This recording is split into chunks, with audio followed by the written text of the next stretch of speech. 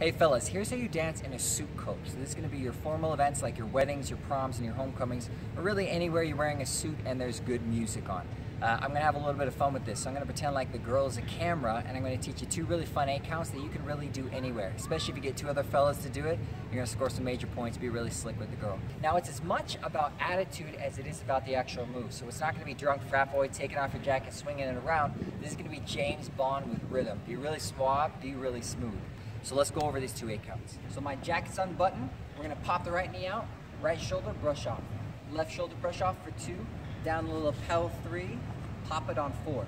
One, two, three, four. You're gonna do a ball change, and five. Left foot back, right foot forward, and five, six, seven, pop it out, eight like that.